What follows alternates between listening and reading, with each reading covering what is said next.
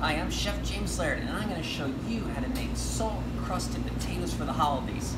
Not only is it a great dish for a buffet, for a home party, for the holidays, but it's also how we cook our potatoes for the octopus. People ask why the octopus is so great, and this is one of the reasons why. So you start with about 10 cups of salt. Don't worry about the salt, you can reuse the salt every time you do it. Two to three cups of egg whites, okay? And you're just gonna mix it up a little bit of thyme if you want, you know, just a couple of sprigs of thyme. And you're just gonna mix this up so it has the consistency of wet sand. Everybody knows what sand is. Wet sand is from being in the, at the beach. Try to keep it in the bowl. See how it just kind of sticks together like that? Just like that. Now we're gonna put a little bit of the salt underneath. Okay, and then we take these little potatoes here. About just like that the medium-sized potatoes. A little bit of salt on top.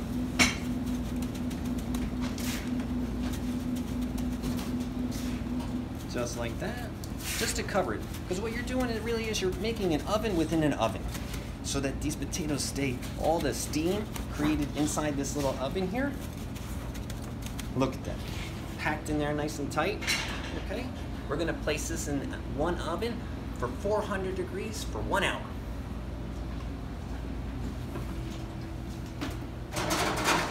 Because I didn't want you to be here all day, I already did it. So this is what it looks like when it comes out of the oven, one hour. No need to see if it's ready because it's just potatoes and kind of sometimes the more cooked the better. Now we're gonna let after it's cooked for one hour, let it rest for about 15 minutes. That, that way it's a little more easier to handle. Now we're gonna turn this upside down without burning myself. Oh my gosh, it worked. Now you take it, kind of just break it apart like that.